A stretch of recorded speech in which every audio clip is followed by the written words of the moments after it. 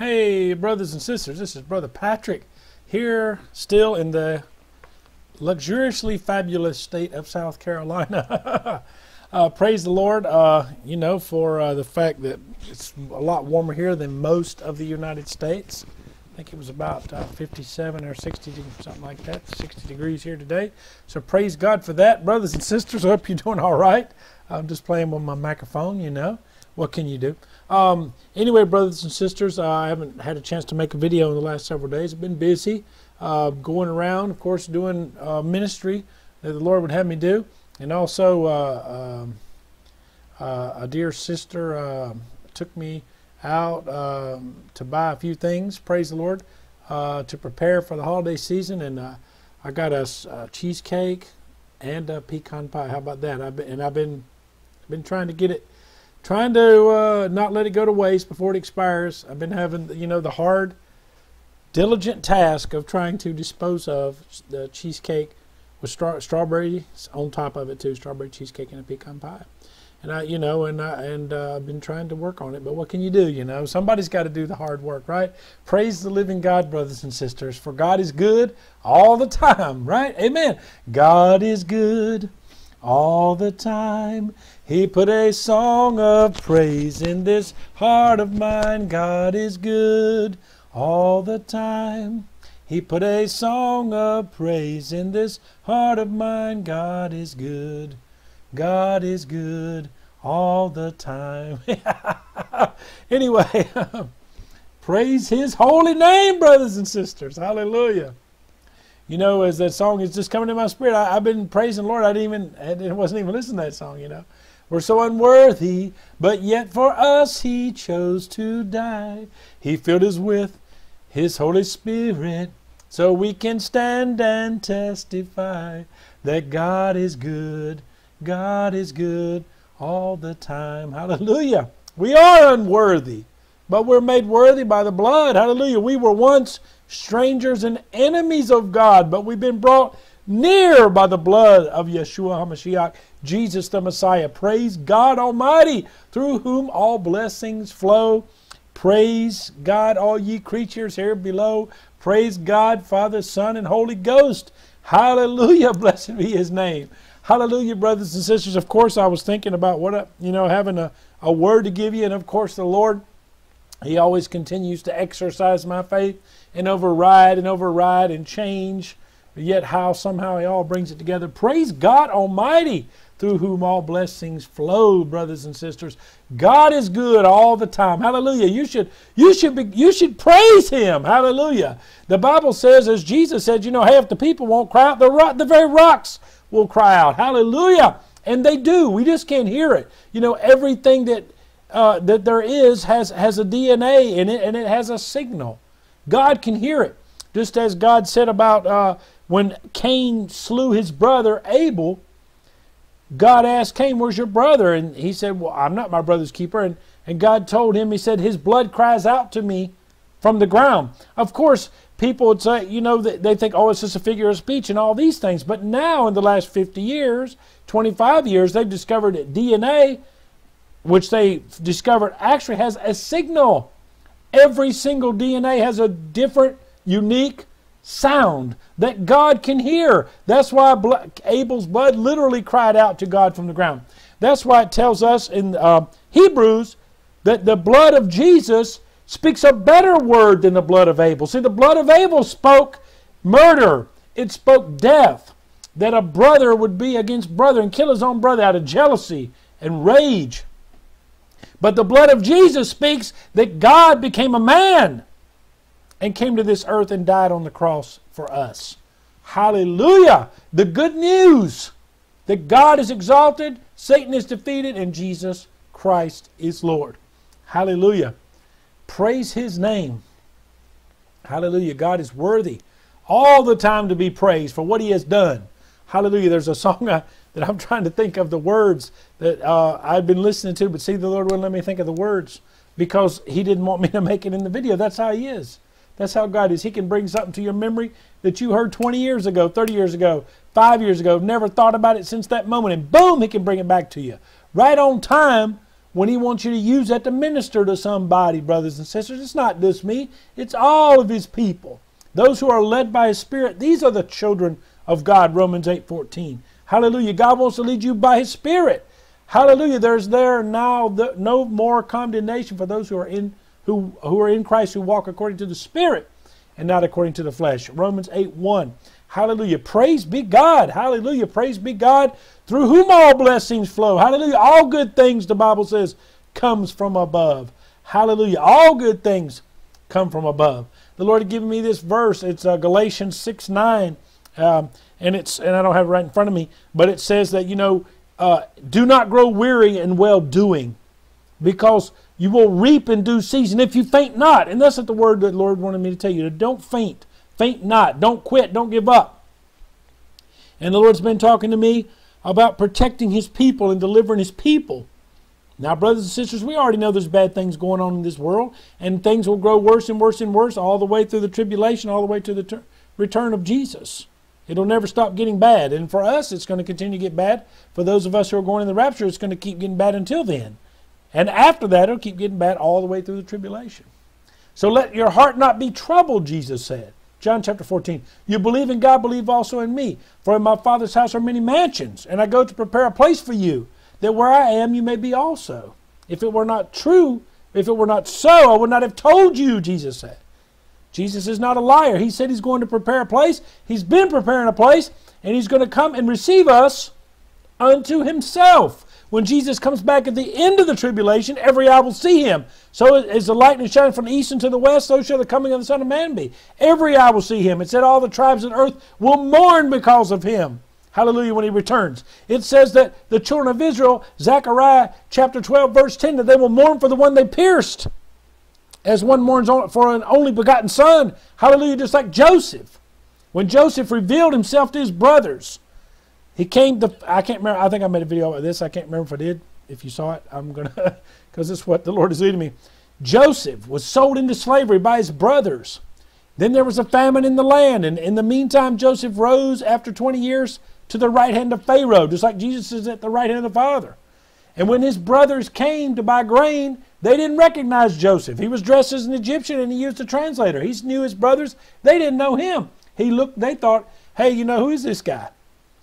And then he didn't reveal himself to them. The second time, the second time he they saw him, the second time Jesus comes back to this earth and stands on this earth, he will reveal himself to his brothers, the nation of Israel. Joseph, the second time they came to Egypt, he revealed himself that, hey, I'm at the right hand of Pharaoh, I'm at the right hand of the king, I'm the right hand of the Father.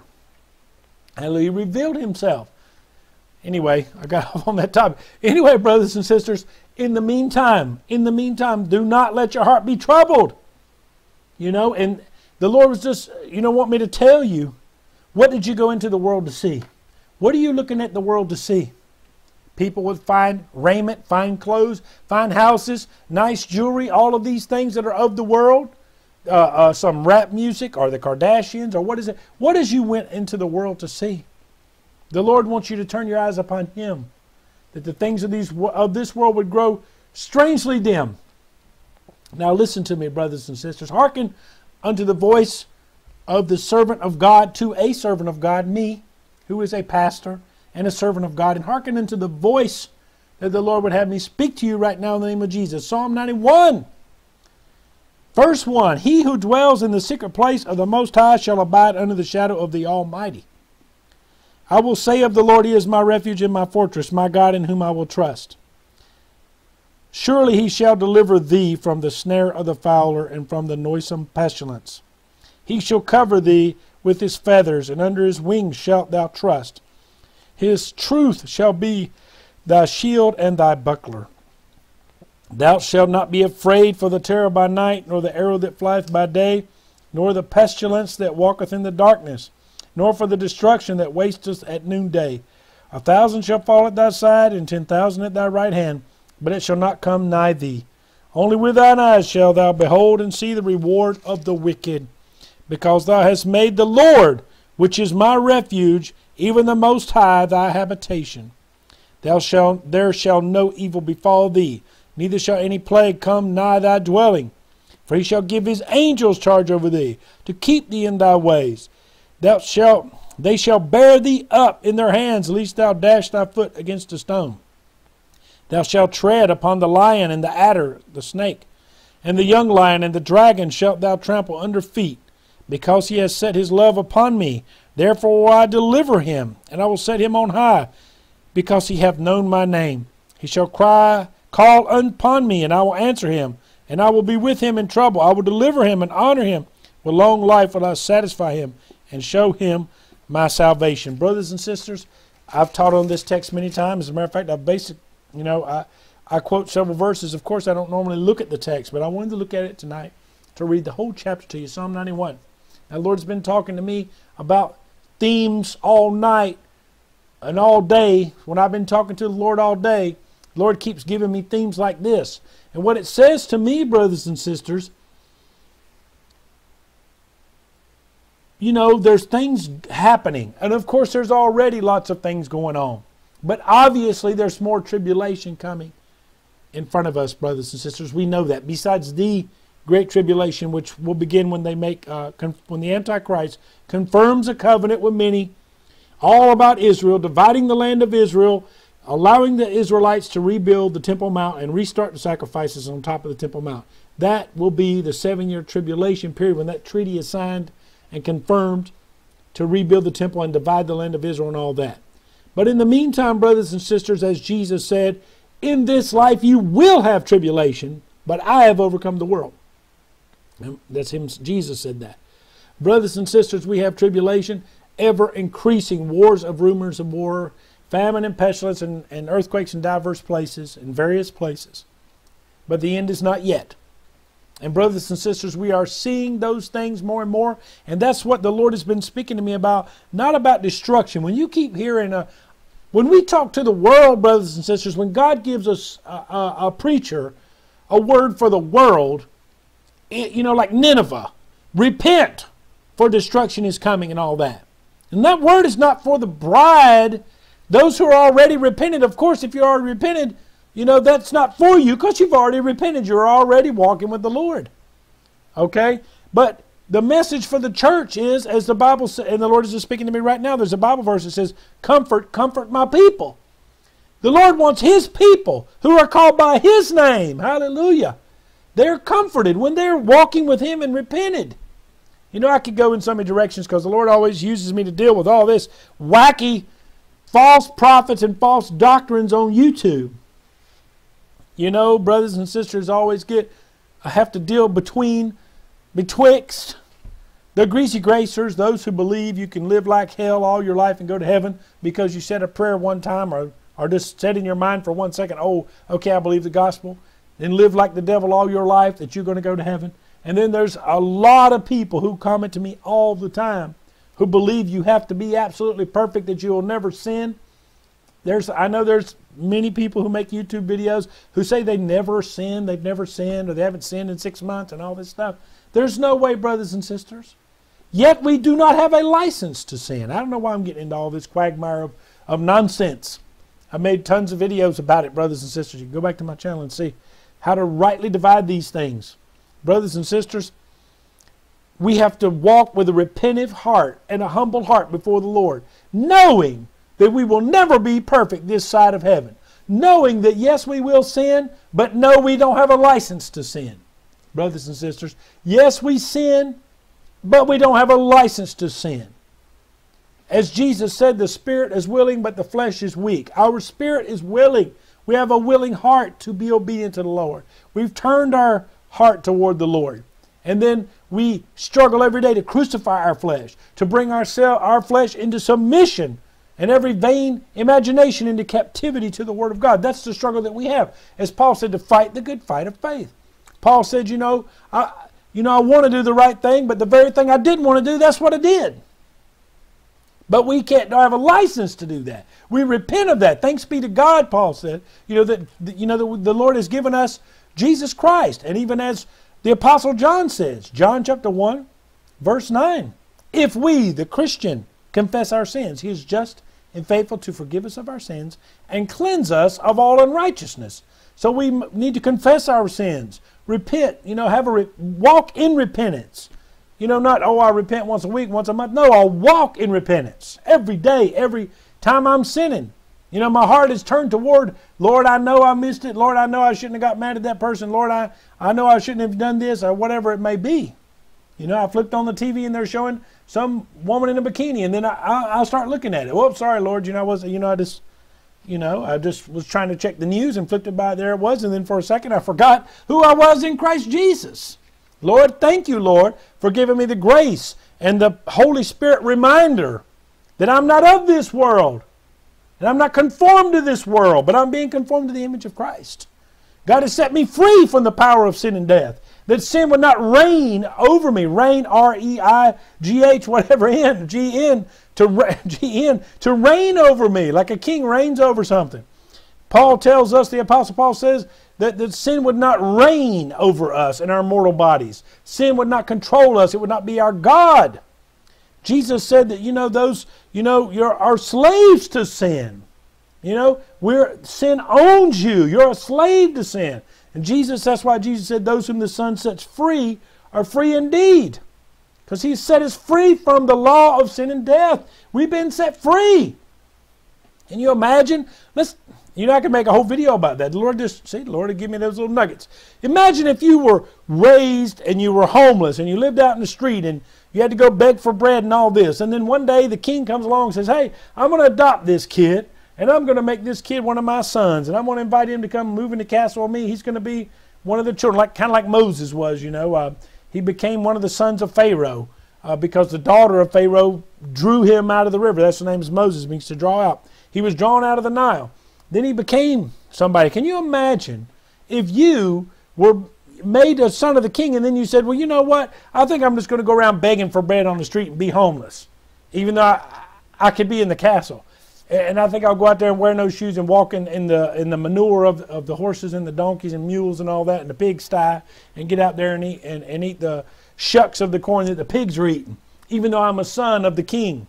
I've been adopted and now I'm a child of a king. I want to go back there and wallow in the in the miry uh, mud with the pigs like the prodigal son did. Can you imagine doing that?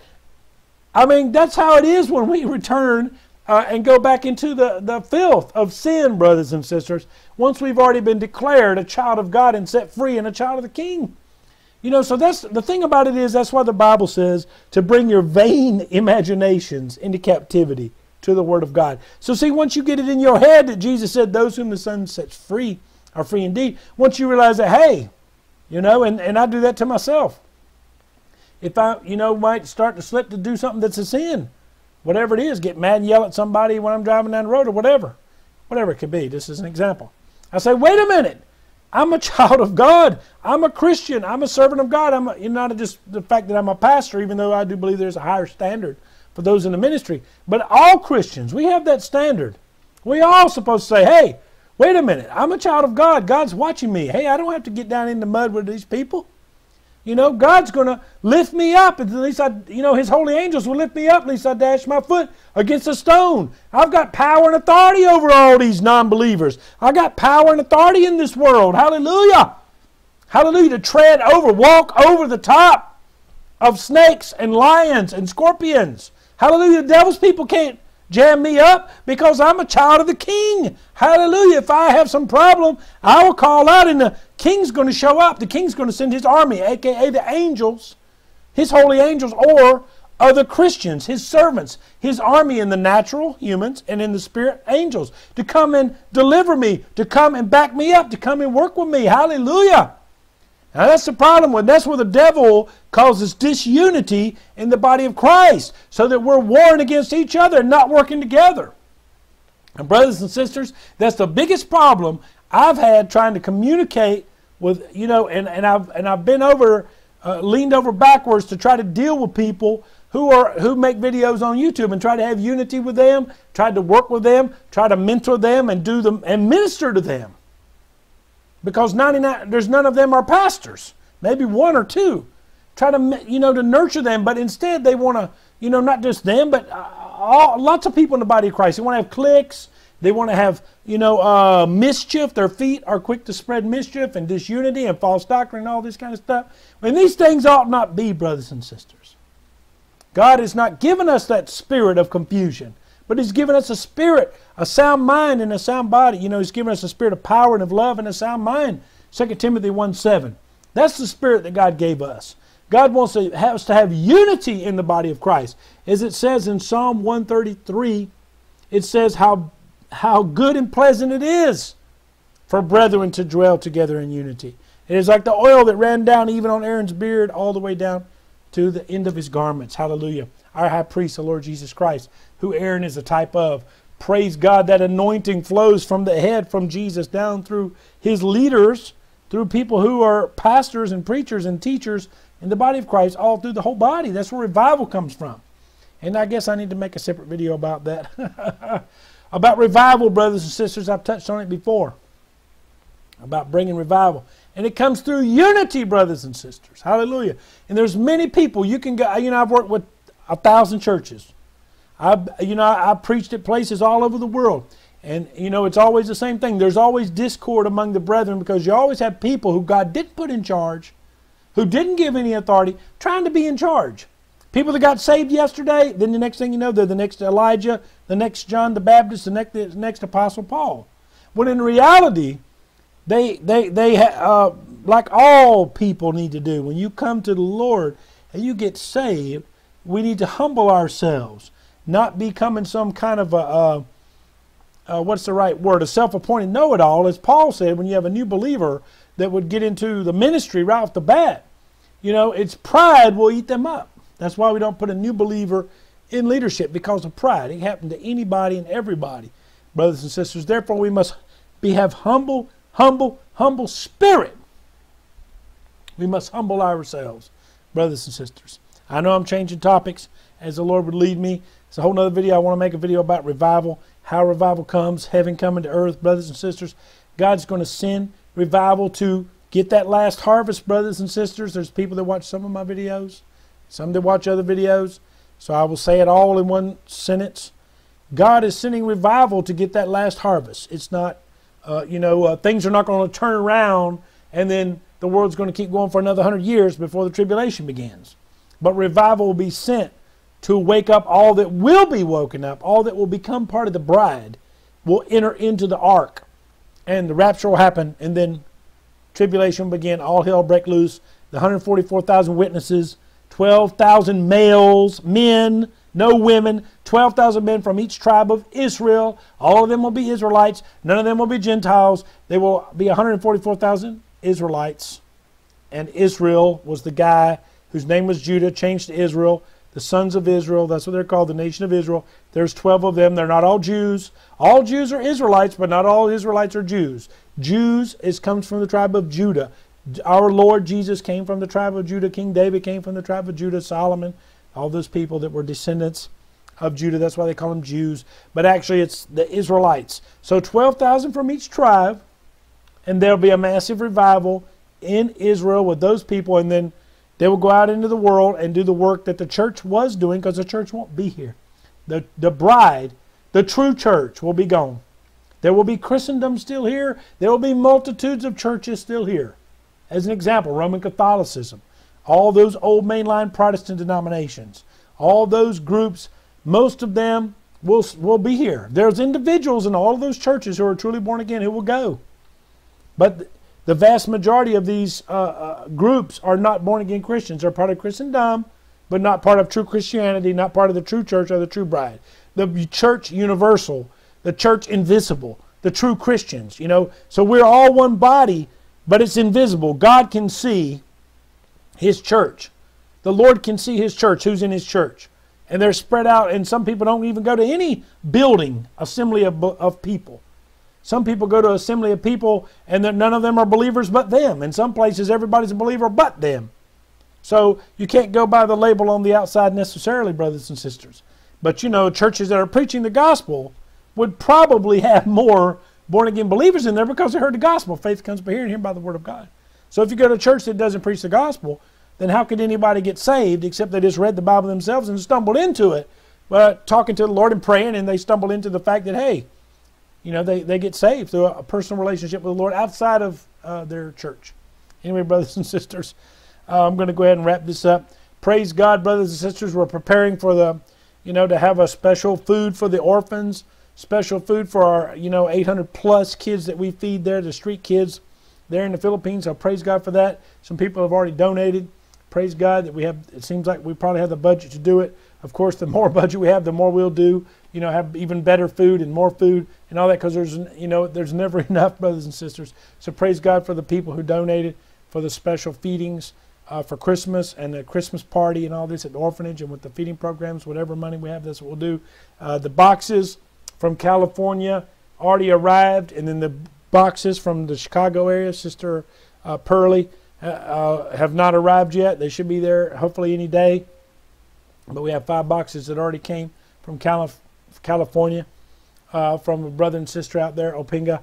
I hope I'm pronouncing that right. Anyway, praise God. all those who sent to each of those two places. And by the grace of God, we'll do it again, brothers and sisters. Uh, by the grace of God, we'll try to do one. Because school starts in Philippines in June.